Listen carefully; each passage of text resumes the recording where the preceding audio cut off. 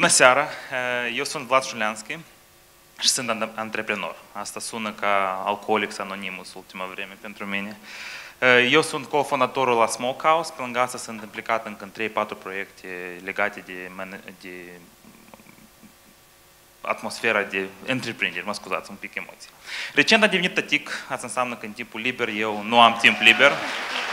Eu fug acasă să văd cum crește fetița, pentru că ea acum a devenit universul meu și cel mai important proiect al meu care vreodată l-am avut. Totuși, aș vrea să vă povestesc despre un uh, hobby al meu, nu-i hobby, un stil de viață meu care m-a influențat mine ca personalitate, este Ultimate Frisbee, sport cu discul zburător. Uh, când coechipierii mei au aflat că eu o să deschid un restaurant, ei mi-au dăruit această poză uh, cu, cu aluzia că eu o să alerg după mâncare mai mult decât după frisbee. Din păcate, ei au avut dreptate, eu într-adevăr trei ani de zile n-am putut să mă ocup așa cum înainte de, de sport și chiar îmi pare rău, dar acum s-a stabilizat un pic lucrurile și eu încerc să revin înapoi uh, în big sport. Ultimate Frisbee este un uh, sport uh, care se joacă pe un teren dreptunghiular de 100 de metri, un teren de fotbal, cu discul, evident. Se joacă 7 la 7, la capetele terenului sunt end zones, zone de marcaj. Se coate punct marcat dacă jucătorul prinde discul în zonă. Anul trecut, noi am fost, sportul nostru a fost validat de Comitetul Olimpic. Asta înseamnă că în 12 ani el devine sport olimpic de vară și deodată repede în Moldova să apară bani pentru chestia asta. Așa e ok. Acum, la moment, joacă 8 milioane de oameni în 40 de țări diferite. La noi sport a apărut 10 ani în urmă, mulțumit lui David Blood, un american, directorul Winrock International. Eu acolo am fost voluntar. El într-o zi m-a chemat să dăm niște pase și de atunci n-am lăsat discul în mână, cum vedeți. Atunci am creat echipa Flying Mamaligas și am plecat în Lvov pentru primul campionat. Asta a fost deja 10 ani în urmă.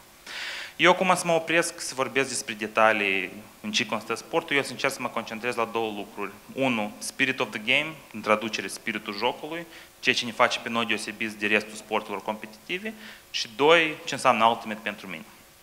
Deci, spirit of the game. În Ultimate nu există arbitri.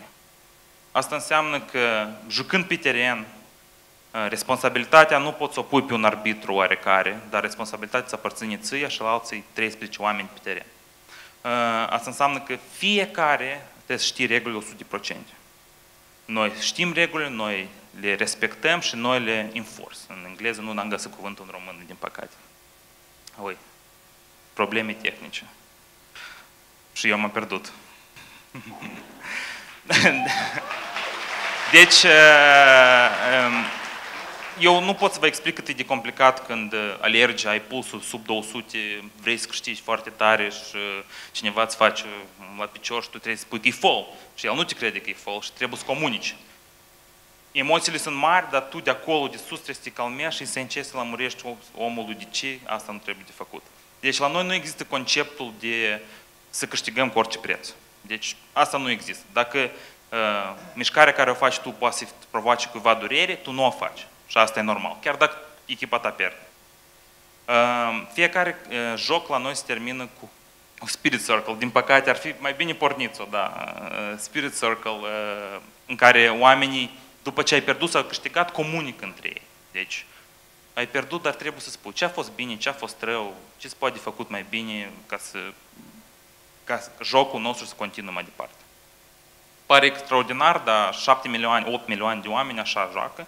Noi am avut propuneri pentru Comitetul Olimpic să punem arbitri, dar toată comunitatea a spus nu. Uh, ce înseamnă Ultimate pentru mine? Uh, având o afacere, eu sunt, nu-mi permit să mă deconectez online deloc. Deci minim mă sună și la 3 de noapte vecinul că lucrează hota și trebuie urgent să o stângă. Și um, e foarte stresant pentru că apar foarte multe chestii permanent ce trebuie de făcut, ceva, ceva vrea de la tine, bani, ceva s-a stricat. Dar când uh, pășesc pe teren, uh, lumea mea foarte complicată, brusc devine foarte simplă. Este discul, sunt echipa, este zona și asta e tot. Deci asta e punctul mijloc care eu l-am găsit să-mi conectez viața mea personală, profesională și sportivă în cazul dat. Uh, Eu am văzut că vorbit, am auzit mulți speaker și mulți speaker să vorbească, deci eu vă doresc și voi să vă găsiți chestia asta de mijloc care să vă balanceze toată viața. Uh, Poate Ultimate Frisbee, Flying Mama Legacy Open pentru toți fete, băieți. Uh, Vă trebuie doar dorință și discuri noi avem. Uh, Vreau să termin cu fraza, cu motoul care trebuie întârzi, din păcate, dar motoul echipei noastre este unde joacă moldovenii, acolo pământul geme. Uh, Eu, uh, ce, nu- ce n-ar face noi cum moldovenii ne ducem la nunți și lăsăm toată energia noastră negativă în pământ, fix așa și în sport noi când uh, jucăm o lăsăm acolo și ieșim cu dispoziție bună. Mulțumesc, seară bună!